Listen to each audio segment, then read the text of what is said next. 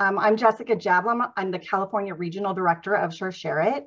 Thank you so much for joining us on your Thursday night to discuss the intersection between Jewish ethics and cancer screening. Before we begin, I want to thank our generous sponsors.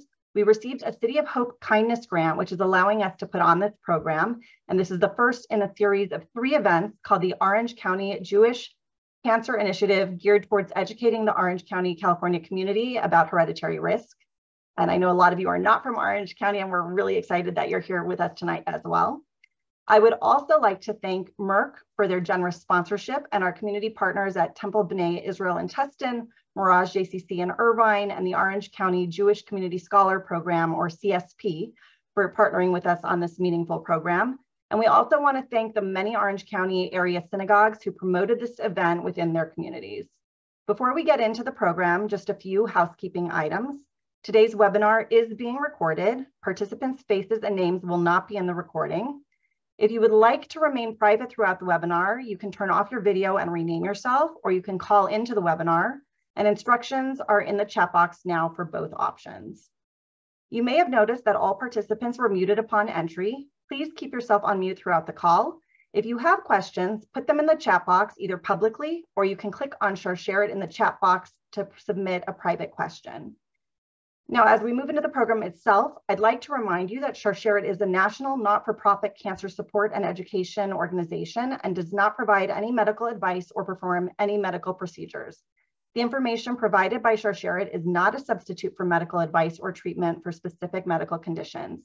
You should not use this information to diagnose or treat a health problem. And if you have any questions that are specific to your medical care, we recommend that you speak directly to your medical provider. Always seek the advice of your physician or qualified health provider with any questions you may have regarding a medical condition. And now that we've covered that, we are going to be helping, we are going to be hearing from some incredible speakers tonight who will discuss genetics and the increased risk in the Jewish community, some signs and symptoms to be aware of, screening recommendations, what we need to know and share with our doctors, and what Jewish law says about taking care of ourselves. I'm also excited about the opportunity to briefly share Sharsheret with all of you. Sharsheret is Hebrew for chain, and we're a national Jewish nonprofit organization that helps all of those facing, living with, or at increased genetic risk for breast or ovarian cancer. We provide free and confidential genetic and mental health counseling, emotional support, financial subsidies, and life-saving education to people of all backgrounds. Our support services are designed to help navigate you through the cancer experience. We also partner with synagogues, hospitals, healthcare professionals, campuses, volunteers, and organizations to educate and empower people to take care of their health, know what questions to ask, and to understand their risk. And that's what we're doing here tonight.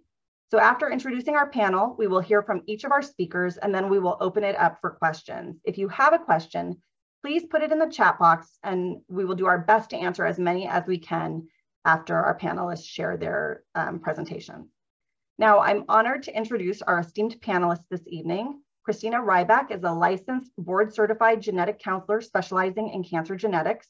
She received her master's degree in genetic counseling from the University of South Carolina and her bachelor's degree in English from Duke University.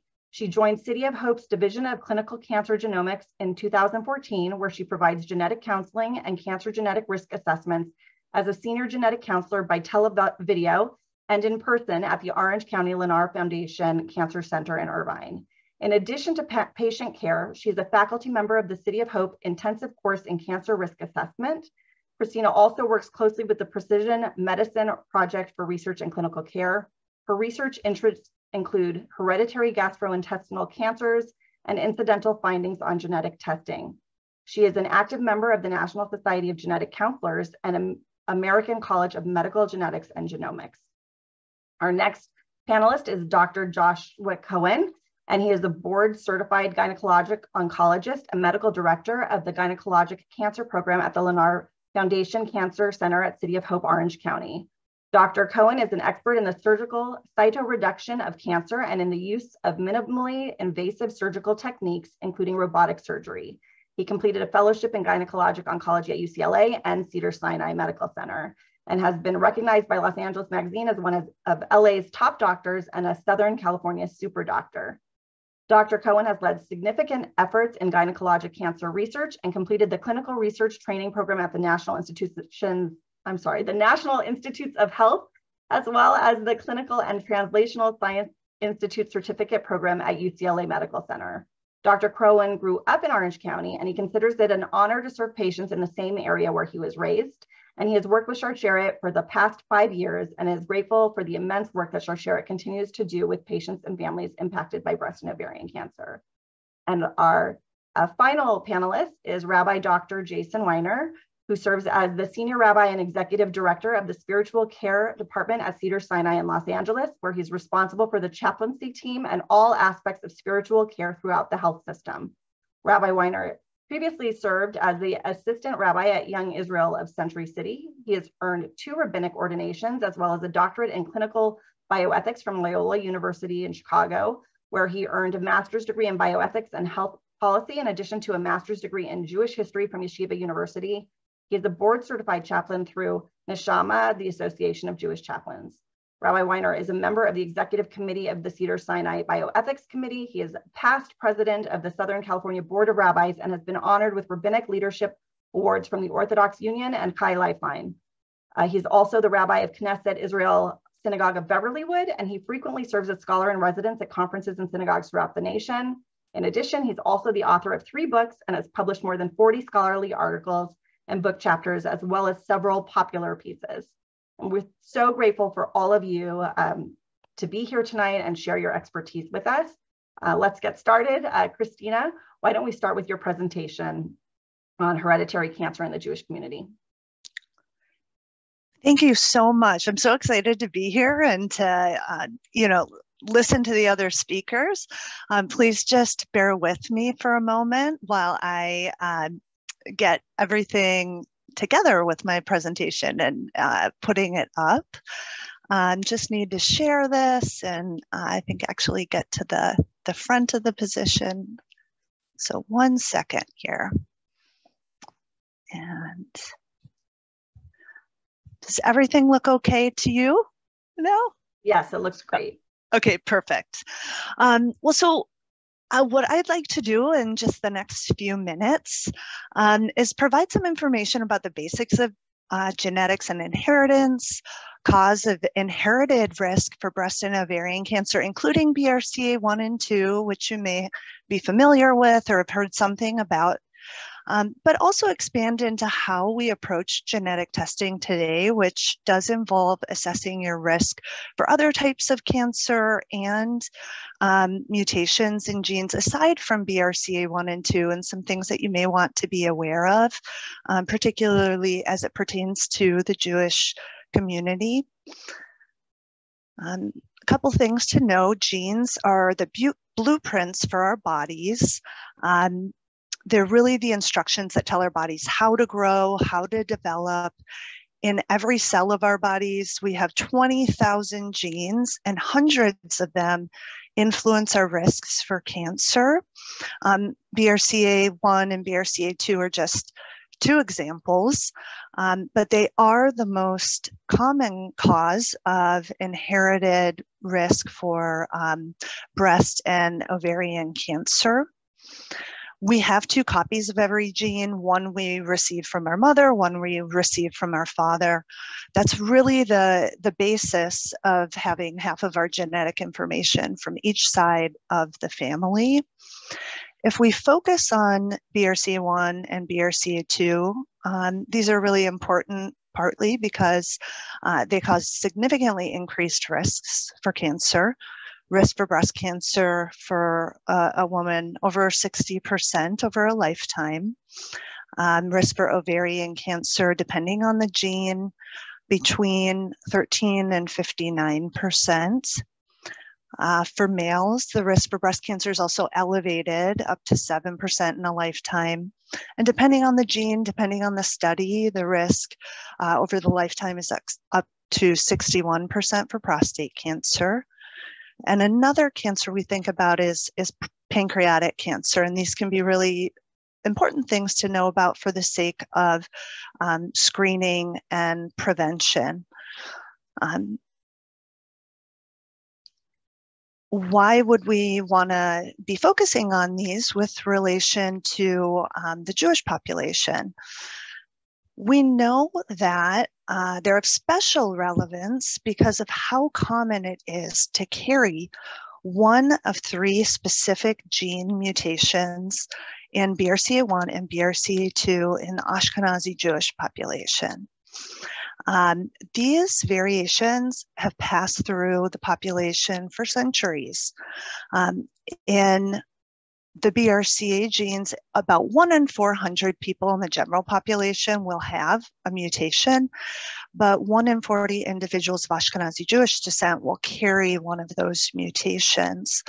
Um, it's also good to know that um, the BRCA1 gene mutation uh, called 185 del AG it's not just restricted to individuals of Ashkenazi Jewish ancestry, it has been seen in other Jewish populations. And there are certain BRCA variants that have been seen in the Sephardi and Mizrahi Jewish populations, just not at the same level of frequency as with BRCA1 and BRCA2 uh, founder variants. Um, and so it is a really low threshold that we use to offer genetic testing to people of Jewish ancestry. But we tend to look broadly, so not just focus at the, on those three gene variants. Um, to look at breast cancer in general, there's really only 5 to 10% of all breast cancer that's due to a hereditary cause or a gene variant running through the family, putting people at increased risk. Uh, while BRCA1 and 2 are the most common cause of hereditary breast cancer, there are a whole variety of other genes that have been identified to cause increased risk. Um, and that's what we've learned over uh, the last several decades, really since the discovery of BRCA1 and BRCA2. Um, and when we think about uh, genetic testing in general, we know that there are um, genes predisposing to many different cancer risks. So things like colorectal cancer risk, colorectal polyp risk. Um, this slide shows with uh, the different colors um, the genes that uh, predispose to certain types of cancer. Each gene is associated with its specific cancers. Um, each gene has varying levels of risk um, and also specific medical management guidelines. So, um, for example, we might find a gene that uh, increases risk for colorectal cancer and someone would be recommended to have tailored guidelines for uh, colonoscopy. Um, whereas with breast cancer risk, you know, we're thinking of things like um, increased screening by MRI. Um, I wanted to point out a couple of examples because I think we focus a lot on BRCA1 and BRCA2, um, but that are relevant uh, to people in the Jewish population. So with uh, I put a, a, few circles around um, a gene called APC. There's a specific variant in this gene called APCI1307K. It's present in 1 in 12 people of Ashkenazi Jewish ancestry. Um, and it increases risk for colorectal cancer not to the same level of risk by any means as, say, a BRCA gene variant increases risk for breast cancer. Um, but it can influence screening guidelines for colonoscopy. Um, and the general approach when someone comes in today would be to offer what we call a multi-gene panel, where um, we take one blood or DNA sample and we can test for many different genes associated with many cancer risks at once. Um, so that's something now that is available and it allows us to give the most comprehensive look at someone's cancer risk and make the best tailored medical management guidelines from there. Um, with respect to the ATM and CHEK2 genes, these are genes that predispose to breast cancer, again, not to the level of BRCA1 and 2, but just in the general population, regardless of your ancestry, approximately one in 100 people will come back with a positive result, which from the genetics perspective is common. Um, so it's something that we see in people um, of all ancestries and can influence a person's screening. So just good things to know about. Uh, why consider genetic testing and counseling? It can influence potentially someone's treatment for cancer, their screening and medical management, um, and also you may be giving a gift to your family in terms of information that has relevance for children. If someone tests positive, all of their children and siblings are at 50% risk to have the same variant. Um, and just the last point to make that genetic counselors are here to really um, walk through the process with you uh, based on what your values are and the situation in your life to, to go through with you and talk about the testing that's available and what may be best for you. Um, and so thank you. Just wanted to leave it there and happy to handle any any questions that you have. Thank you, Christina. Um, if you have any questions for Christina, please put them in the chat and we will get to them after all of the presentations. Um, that was really interesting and, and we appreciate that. Thank you. Um, and, and now let's turn it over to Dr. Cohen. Okay, great. Thank you all so very much for uh, logging in on a Thursday night. I'm going to go ahead and uh, share my screen here.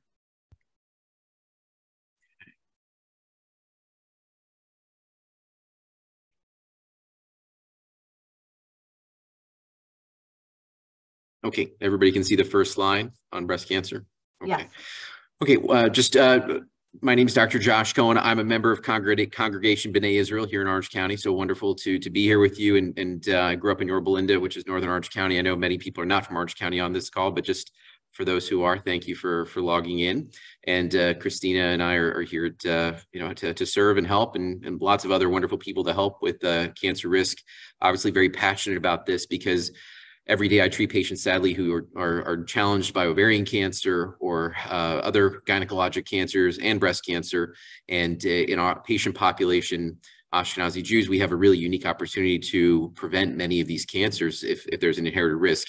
Uh, to put just something in perspective for what Christina mentioned, there's about 40 people on the call tonight. Uh, so one, you know, if we just take it by numbers, one person on this call definitely has BRCA, one or two their family will forever be impacted by BRCA1 or 2 and that person will save lives if they test positive and communicate that to their family. And that's just just on this call tonight. The apc mutation 1 in 12 three of us have an apc mutation on the zoom call tonight uh, and that's an increased risk of colon cancer. Uh, and you'll hear more from rabbi weiner about the ethics and genetics and with regard to jewish law. Um, I've personally been referred young women to have risk reducing surgery to remove their ovaries to reduce the risk of cancer. And they've never heard of the ability to do pre-gestational diagnosis, meaning that you can actually test embryos for genetic risk of BRCA1 and 2. Um, and, and there's a whole discussion about that. And I'm, I, you know, I don't want to open up Pandora's box, so to speak, but I just want you to know that this technology exists.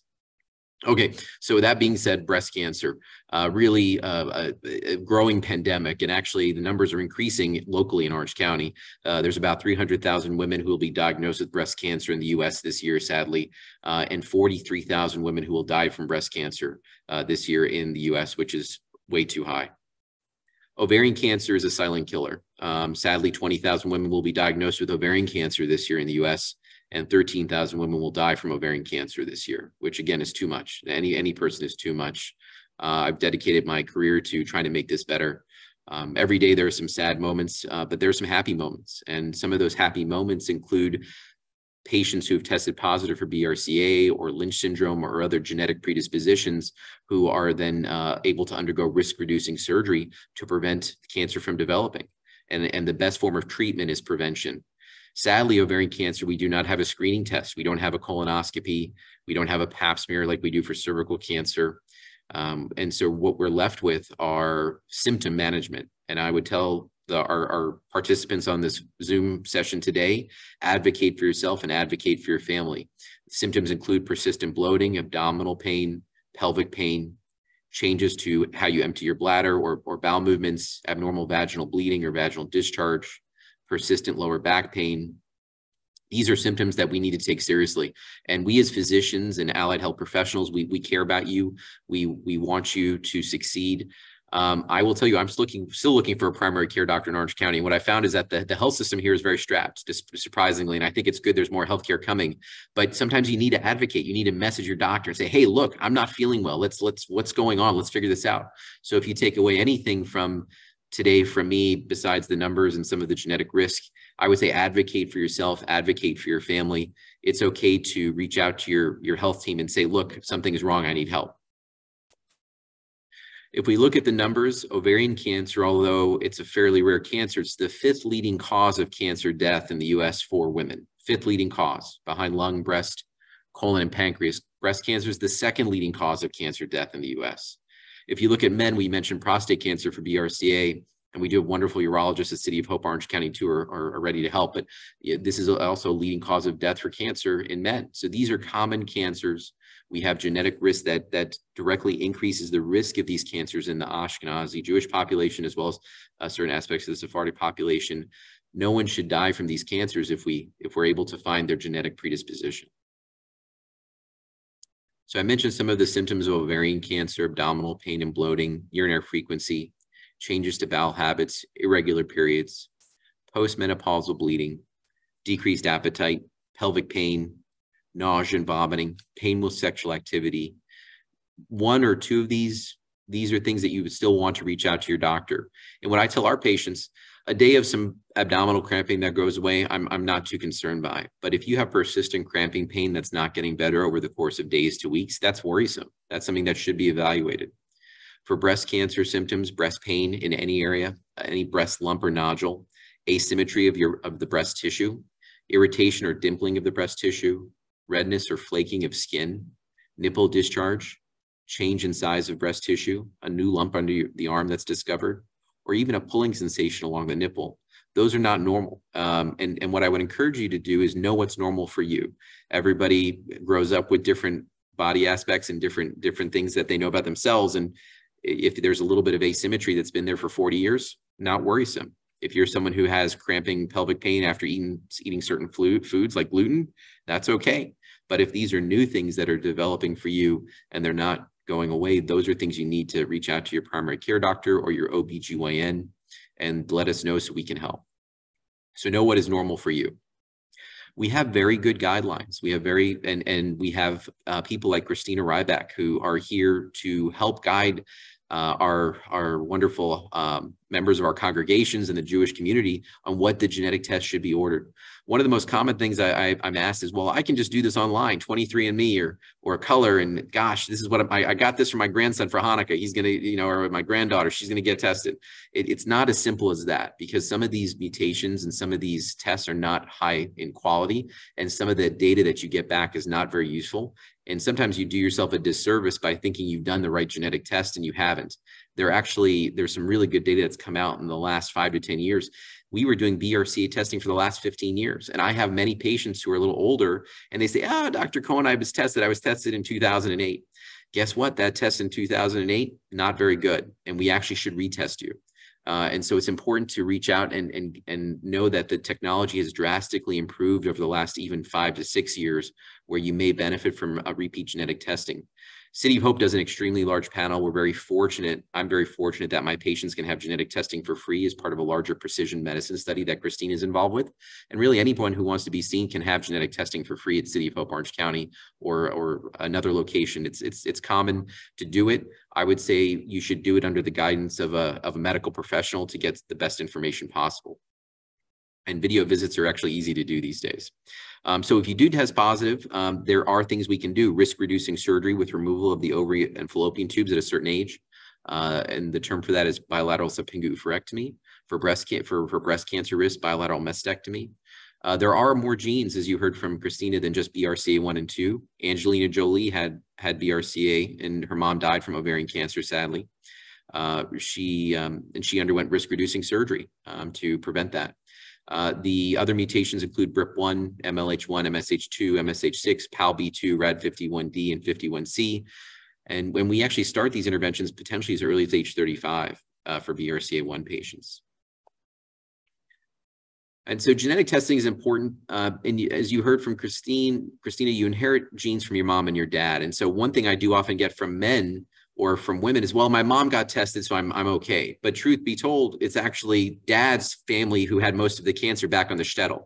And we don't often talk about the shtetl or what happened to our families, uh, you know, Jewish populations. We don't really know what grandma or grandpa or great grandma or grandpa died from. But actually, it's important for you to talk to your family, say, hey, mom and dad, what did our uncle passed away from? Well, God forbid, what did what are these things? We we need to know who what people died from because it has implications for your health. And if there's a family history of breast cancer, although it may not be your immediate family, and you your family's from Eastern Europe, whether you think you're Sephardic or Ashkenazi, guess what? You should probably get tested.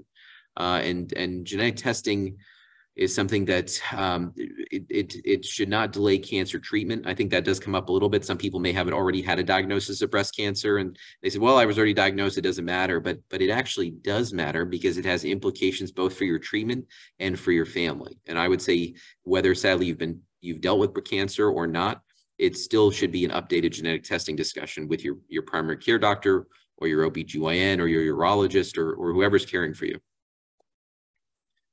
Um, so I've hinted at this a little bit, but there are many different genetic tests. The one that you see online or read about on on Amazon or or, or they send to send to you for Hanukkah. That's that's may not be the right test. Know your family history. Ask to see a genetic genetic counselor or physician with a focus or interest in genetic testing. Um, not all genetic testings are clear. We didn't talk about something called variants of undetermined significance, but there's a lot of power in genetic testing, but there's a lot of uncertainty too. And it can be really hard when you order a genetic test and you may be in the gray area the gray area could be you have a, a, a, mutation that's not considered harmful, meaning we haven't found enough patients who have developed cancer because of it, but it's a rare mutation, meaning that it's not usually found in the general population. That usually requires an expert to navigate that with you, someone like Christina, who's going to keep an eye on these as they get updated, as we get more patients tested to know if this is truly a harmful mutation or not. And that's one of my concerns when people do this at home with just uh, send home kits and have no follow-up.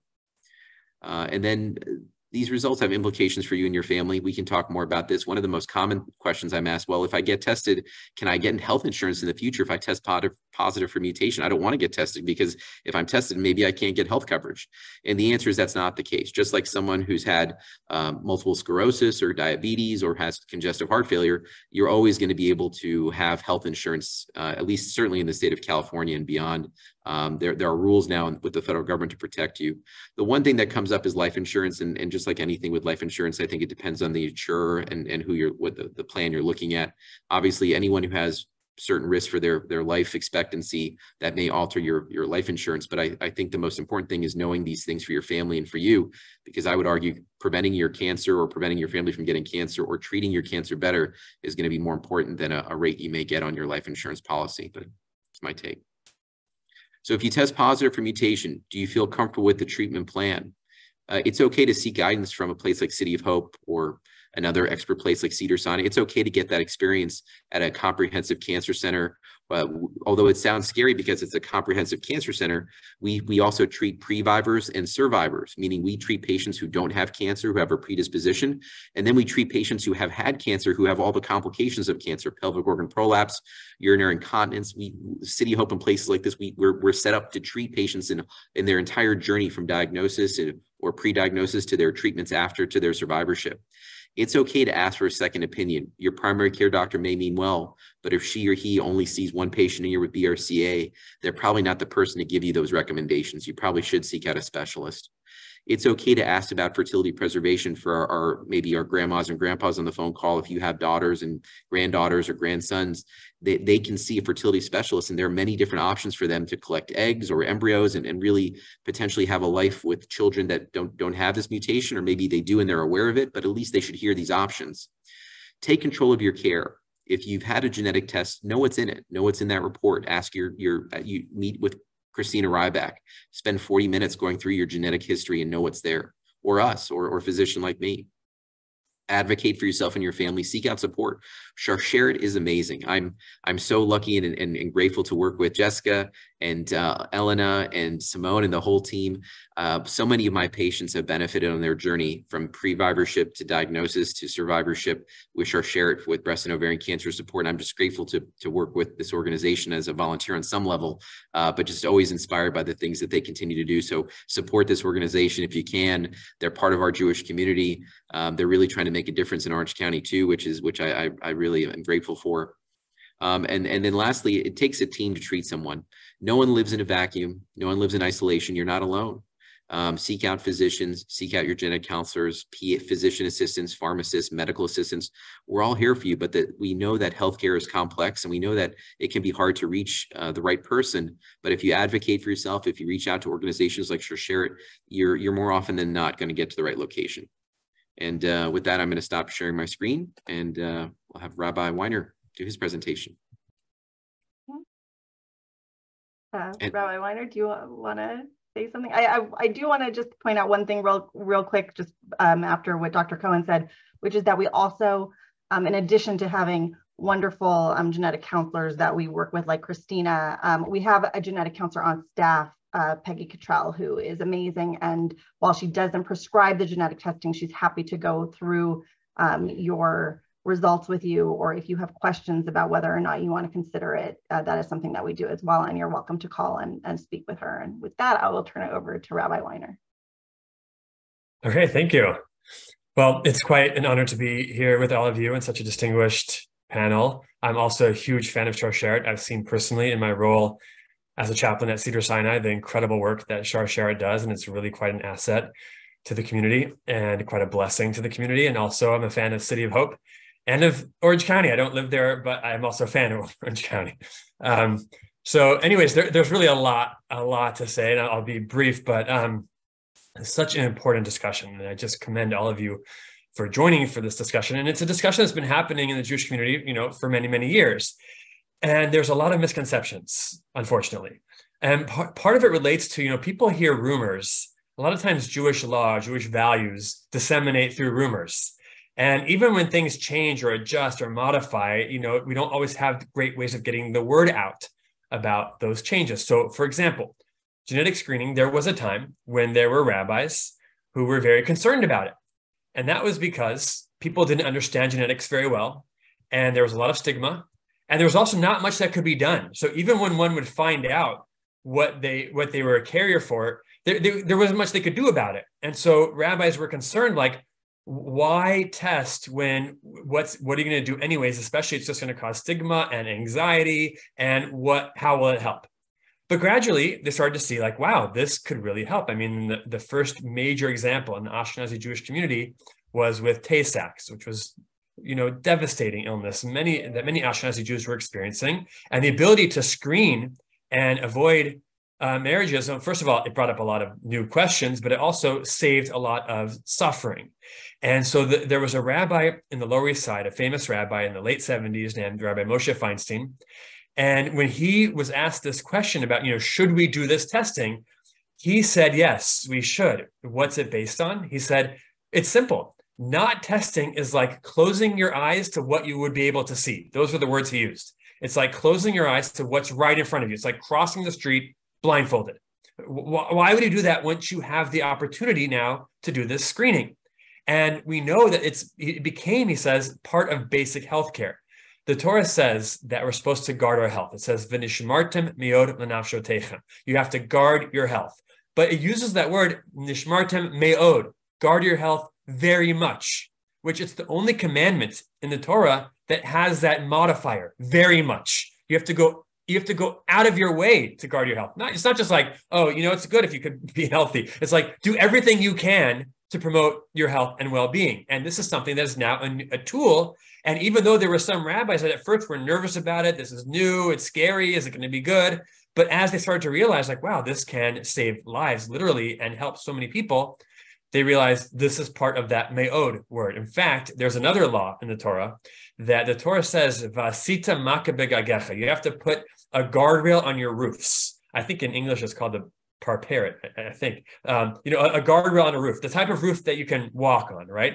and the, especially you know they, they, they lived in you know these Mediterranean style homes, Pueblo style homes, right, with flat roofs that people would go onto the roof. And there was a law in the Torah that you have to have a guardrail there. You can't just take your risk and say like, oh, you know, who's going to fall off? It's safe. You have to actually have a guardrail. And the rabbi said that was a commandment, not just for that specific guardrail on the roof. It was actually a way of saying that we have to take precautionary measures preventative medicine is actually commanded by the Torah in that category of putting a guardrail on our roofs. And the rabbis realized this is what genetic screening is. Like this is this is amazing. it, it is it is a tool to help promote health and protect our, our well-being. Now, w- what started to happen was, first of all, more and more questions arose, right? Like when to test and what happens when you find out you're positive. I mean, some of the questions were like, you know, if a couple is very much in love, should they break off their engagement? When should they be t- testing? In fact, the first, when Rabbi Feinstein first permitted in the Jewish community this testing, he came up with a method that he encouraged, and some parts of our the Jewish community still do it this way. Not most, but I personally don't necessarily recommend this. But he said, um, you know, I'm only going to allow it if it's um, if it's blind, anonymous testing. And the way they did it for many, many years, and still in some communities to this day, is that people will get tested and they get a number. And then they simply call their number, and their potential partner also calls and gives them their number. And they're simply told, are they a match or not? But they're not told the details. The idea of that was to try to prevent the stigma. But as we became more and more sophisticated with genetic screening, we could do more and more things, as has been mentioned by both of the speakers more questions arose and the desire to like have more open testing became relevant. So like for example i'll just give two quick examples because they're they're i think important for understanding the debates that happen in the rabbinic community. So one was and this was mentioned before was okay let's say someone is a couple is very much in love and they now do the screening and you know, most rabbis, I personally will not do a wedding unless the couple does genetic screening before their marriage, and I encourage it very, very early. Obviously, they don't usually contact me before they're engaged, but I encourage it right away. But um, especially before one gets pregnant, and um, so let's say you know they let's just use an example of a couple that is um, engaged, madly in love, not yet married. They find out they're both carriers for something. And now what they're carriers for, this could also have a major influence on the decision, right? How serious it is, especially as we get more and more ability to test for more and more things, right? W- would you break off a marriage because uh, this is, I'm just, I'll just give it a random example. It's not actually genetics, but let's say uh, they're left-handed. Oh, I don't want to have left-handed kids. I'm not marrying you. You know, that would be kind of ridiculous. I'm, I'm joking. That's not, I don't think there's any genetic screening for left-handedness, right? But I'm just saying like that would be extreme. But for the children to not have Tay-Sachs, right? That isn't that you know, or Huntington's disease, or you know, there's lots of different things we could discuss that could change the calculation. But once we had the ability to do PGD, as came up before, pre-implantation genetic diagnosis, and you could say, you know what, even though you're both carriers and you want to have children, you could adopt also, but you and let's say you want to have children and you're both carriers, you actually could now still get married and have children. It's just a little bit more complicated. You're going to have to practice birth control and only have children through IVF and PGD. PGD is where the pregnancy takes place through IVF. And in the very early stages of the of the fertilized egg, when it's in the blastocyst stage, right in the first, in the very very beginning, um, uh, you you have four or five, let's say, of these uh, fertilized eggs, and they can just take one cell out of each one and see which one is a carrier for whatever mutation you're trying to avoid, and get rid of the ones that are the carriers and just get reimplant, get pregnant with the one that's healthy, so to speak. Not that we all have genetic mutations, right? There's also always going there's still to be something, but then just get pregnant with that one. So the rabbis were debating: is this allowed? Some of their concerns was like, is this playing God? Is this designer children? Because what happens if you're trying to avoid, let's say, Tay-Sachs, but then the doctor says to you, okay, well, I have three that don't have Tay-Sachs, but do you want to choose which one is taller or shorter or male or female or brown hair? You know, like they start asking what if, I'm just saying what ifs right now. What if they would start asking more and more questions? Is you know, that was what the rabbis were worried about. But they said, you know what? No, this is part of healthcare. This is part of um, basic healthcare and trying to avoid illness. But then other rabbis said, but can you really discard um, those pre-embryos? Because th- those could become human beings, right? Th- those really could be feeded, uh, feeded. Like, is that a form of abortion? Now we know that Judaism allows abortion in many, many cases, but would this be a form of abortion? Would that be a concern? And the rabbi said, actually, it's interesting that the rabbis of the Talmud said many, many years ago, without getting into too many details, but the Torah says a, a, an interesting line: "Hashofech dam ba'adam ba'adam demo One who kills a person, by a person, that person may be killed. That's the way you translate that word. That there could be such thing as capital punishment, even though the rabbis limited it. That was what the Torah was saying. But the rabbis of the Talmud said it's such a funny phrase. Who kills a person in a person? So they said, oh, that must be talking about a fetus in the in the womb. So, anyways, th- we're not talking about abortion yet because, anyways, we, we could we could talk about it if you wanted the question answer. But Judaism usually allows abortion when, when necessary. But um, when they were debating PGD, they said, oh wow, this source now provides us with guidance because that that embryo, that pre-embryo, is not currently in the womb. So it doesn't even fit into that verse, and therefore it can certainly there's no prohibition against discarding it. So that was a very different view than some other religions took. But that was the way the rabbis analyzed that case and said PGD is allowed. One more case before I'll start to wrap up. Um, um, it was mentioned already also by Dr. Cohen, the, the important issue of prophylactic surgeries. So a mastectomy would not would not be problematic by Jewish law. I mean, any surgery, you have to ask the question, is surgery allowed? There's a category called chavala, damaging. And if it's for a purpose, surgery is, of course, allowed It's part of saving life. And we believe in pikuach nefesh, saving lives. An oophorectomy was a more complicated question because there is a prohibition in Jewish law against um, it's what's called sirus, and that is the prohibition against um, intentionally causing oneself to become infertile. Now, I had I had a case like this when when a woman came to me. She says, you know, I tested positive for BRCA. My doctor suggested an oophorectomy. Is this allowed by Jewish law? So I said, well, we need to re- reach out to your rabbi. And um, so we, this is now going back 15, 20, 15 years already. It was newer then, right? Um, so we reached out to this rabbi. That rabbi didn't feel comfortable. So he reached out to another rabbi. That rabbi said, well, does she currently have ovarian cancer? The answer was no. So he said, well, um, how can I justify this? She doesn't currently have cancer. How can we do this surgery? How can we remove her ovaries, causing right early onset menopause, causing her to be infertile if she doesn't currently have ovarian cancer? So he said no.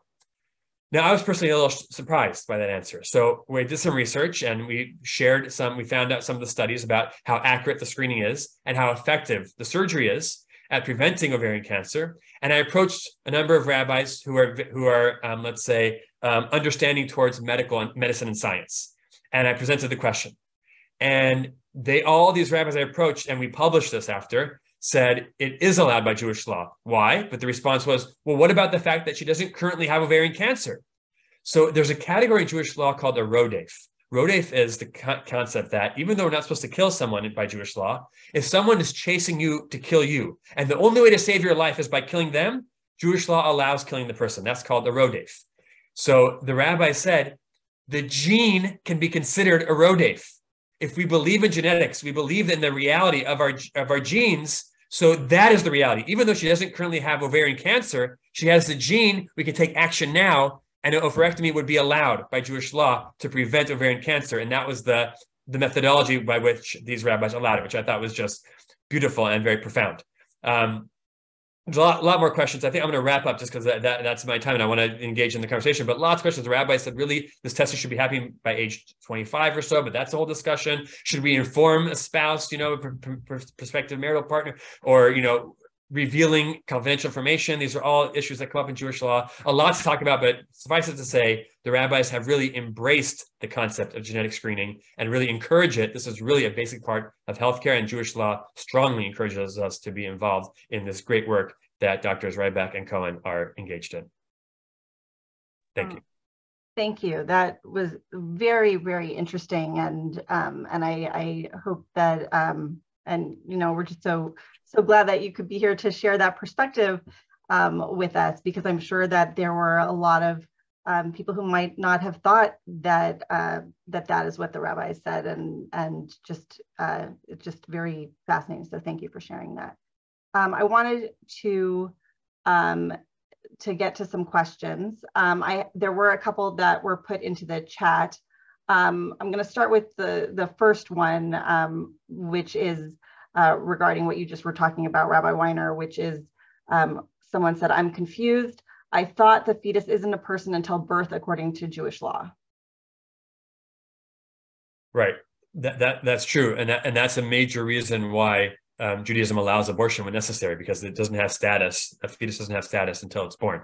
The thing was, the rabbis in the Talmud, when they discussed, you know, the, the, abortion discussion actually goes back to the Talmud. It's fascinating. Many of these discussions were having to try to figure out how to apply ancient ideas to modern context. But abortion is discussed in the Talmud, and basically the rabbis were concerned. They had concerns about it, but they basically said if it's necessary to save life, of course, and saving life, by the way, includes mental health, emotional well-being, in addition to physical health.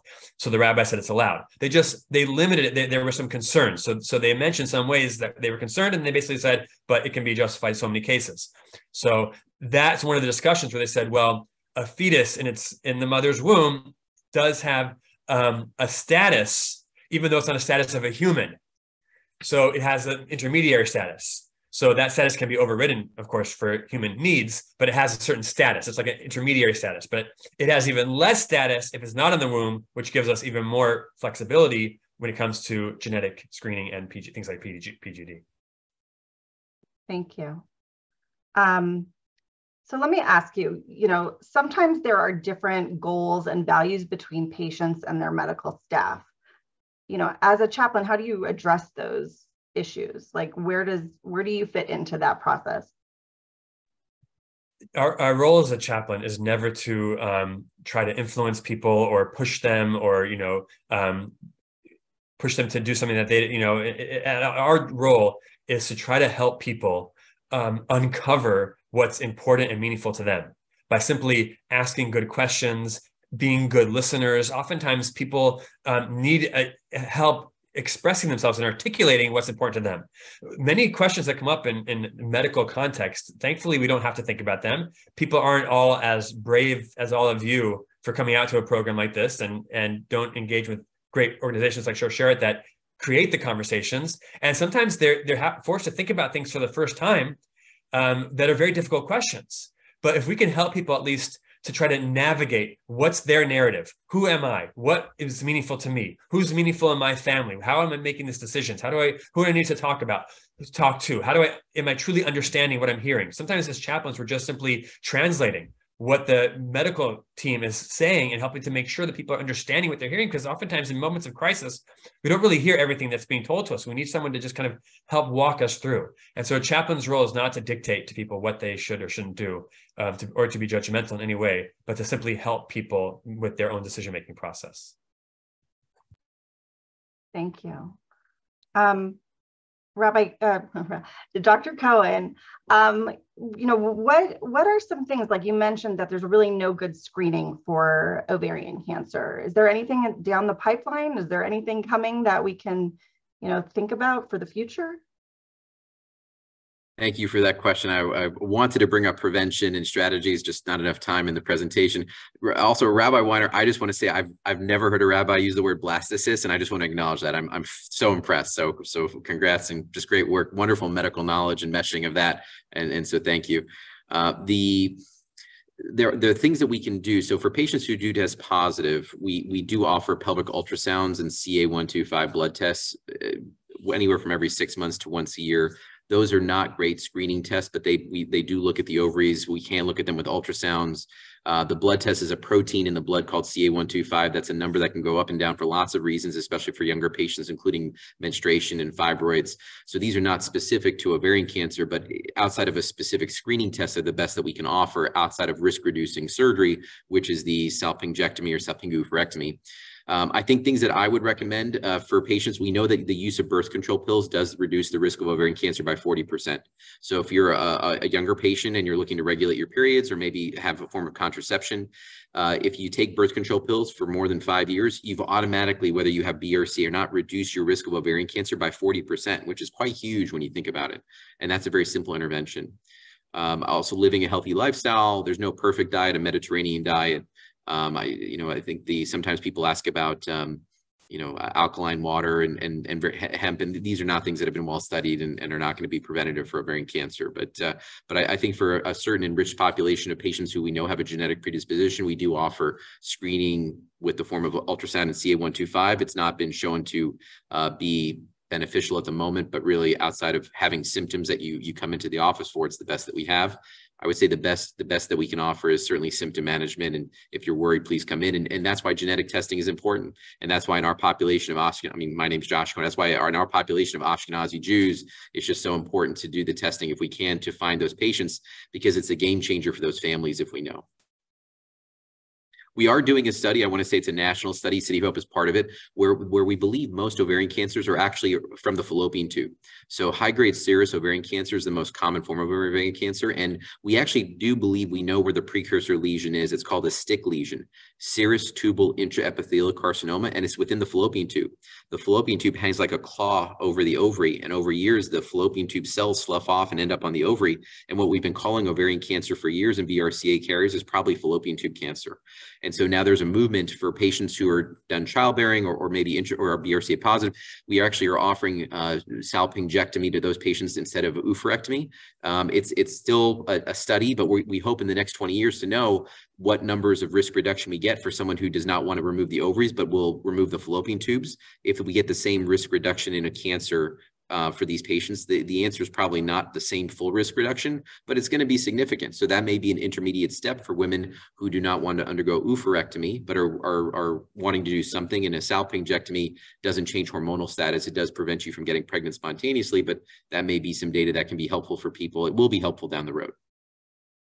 Um, there's a question in the chat, Dr. Cohen, do you discuss hysterectomy along with RRBSO with BRCA1 carriers? Oh yeah, that's that's uh, that's a long discussion. The answer is there's more data coming out about serous carcinomas from the uterus, and I've evolved on this myself over the last five to ten years. And there's really just a couple studies out.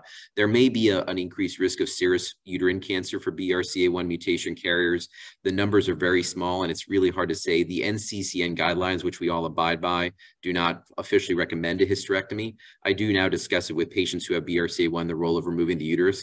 I will tell you where it does come into play for patients are if they are interested in hormone replacement therapy, which we do offer patients who are premenopausal, removing the uterus does remove the need for progesterone. We know that progesterone is the hormone that we need to keep the uterus safe from uterine cancer, but it's also the, the, the hormone that probably increases your risk of breast cancer. So for women who want to have an estrogen patch or oral pills after they undergo removal of the ovaries, it can be a way to simplify the hormonal regimen by removing the uterus. You no longer need the progesterone. You can be on a, either an estrogen patch or, or an estrogen pill. So I do discuss it with my patients, yes. Um, Christina, um, what is the best age to undergo genetic testing? I'm like, what is the earliest, I guess is, is really the question. Um, if there's no really, eh, part of it depends if there's anything that's already been seen in the family. You know, as, if there's no gene variant that's previously been seen, um, you know, the main idea I think would be when are we considering starting cancer screening? So, anyone who's interested in their level of risk could have a genetic counseling appointment. Um, you know, the earliest that we typically would even start screening for something like mammogram, if someone even were positive or breast MRI, would be 25.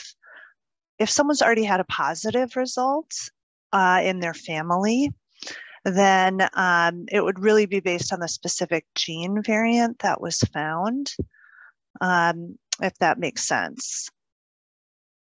Yeah. There are rare syndromes where there are childhood cancer risks, but that's uncommon. Thank you. Um, and um, and I like to see there's some some things in the chat, some conversation in the chat um, you know, uh, with people sharing their stories. And I just want to acknowledge um, that we see that and, and thank you for sharing with us. Um, somebody uh, has said that they had a hysterectomy, but they were not able to remove the fallopian tubes. I'm concerned that if that increases uh, my risk for further cancer. I think that's for you, Dr. Cohen. Yes, and um, I would say I'm I'm not quite sure what the, why they were unable to remove the fallopian tubes. There are there are rare circumstances if you had prior infection. My recommendation is find a surgeon at City of Hope or maybe another comprehensive cancer center to give you a second opinion. Uh, but there are things that go into that, and, and if you don't have a BRCA mutation or other mutation that increases your risk of cancer, I, I, can't say that you need to have the fallopian tubes removed. It is a general, the American College of OBGYN has now recommended removal of fallopian tubes for women who are undergoing hysterectomy in all settings because we know it's on a population-based level. It is, it is associated with fallopian tube and ovarian cancer. Um, I'm, I'm happy to give you some more guidance. I probably need a little more information on your on your history to know exactly where to where to go with that. But just know that it, it's not a necessity that you need the fallopian tubes out if you don't have a, a genetic predisposition, as we've discussed today, but something that is recommended if someone's undergoing hysterectomy for other reasons. So.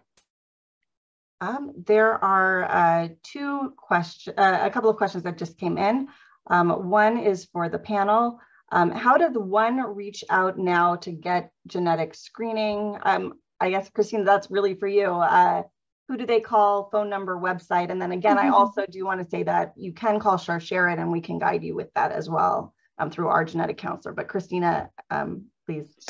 Yeah, uh, findageneticcounselor.org is the website, like the search engine of the uh, National Society for Genetic Counselors. If you're um, looking to find um, someone, you know, search near you, or you can search for online resources.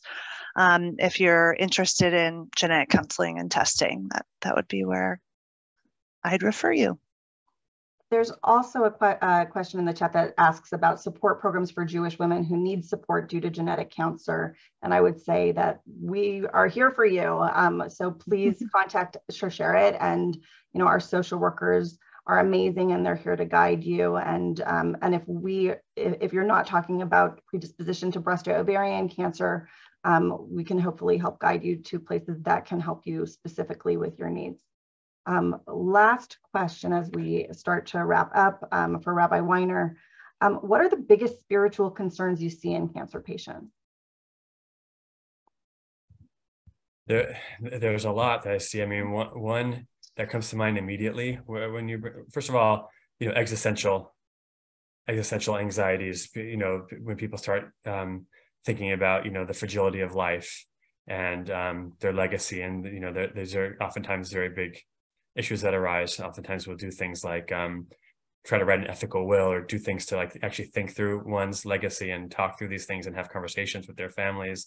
One thing that i find with jews oftentimes um, I mean, I primarily work with Jews, so that's just my experience. But um, there's a lot, a lot of people, and truth is, I see this a lot amongst Jewish women, that there is a sense of a need to um, care for others and want to take care of their family. And sometimes when one is the patient and and one is um, sick and suffering, they're, they're uh, reluctant to accept care because they want to care for others and oftentimes you know i'm trying to encourage people that like it's okay to receive care from other people and it's okay to to share what, what you need and what, where your struggles are. And you don't have to always put on a happy face and just pretend like everything's fine and that you're going to care for everyone else when you're the one who needs care. And so you know i, I think that, that that's an issue that comes up a lot. I try to encourage people to um, be open to, to simply receiving when, when they're when they're struggling. That's so important. Um, Okay, well, with that, um, Dr. Cohen or Christina or Rabbi Weiner, if there's anything that you'd like to add to wrap up, um, you know, for tonight, if there's something, if there's one thing you want people to walk away with, um, what would that be? I would say um, know your family history, advocate for yourself, reach out. And we you know we're, we're clearly dedicated uh, to our wonderful Ashkenazi and Sephardic Jewish population here, but just know cancer impacts everybody. And that's that Sharsheret and organizations that are amazing like Sharsheret, and we're all, all of us are here to, to help. But I think whether you have friends or family, anybody who's been impacted or there's a risk, um, it's okay to reach out and and just know that uh, no one lives in a vacuum. So we're all here for you, and thank you for being here tonight on this uh, very important session. And thank you to Sharsheret for for helping to put this together. And great to Dr. Uh, great to Christina. Wonderful work with you, Rabbi Weiner. So wonderful to hear. I I learned so much listening to you talk tonight. So I just want to say thank you for participating as well. Likewise. Thank you. And I would simply say that you know one thing we can say see from like the Jewish the history is that as has been said so many times, knowledge is power. The more you know, the more you can do. It's and and and talk to your rabbi. The Judaism has so much so much support to provide in these situations, and thankfully the Jewish community has such great organizations such as Sharsheret. Thank you. Christina, did you want to add? Uh, yeah, just um, that that was all amazing and great. I um, would just say, you know, genetic testing is has become so easily accessible. Um, and so please do consider it and reach out. Thank you.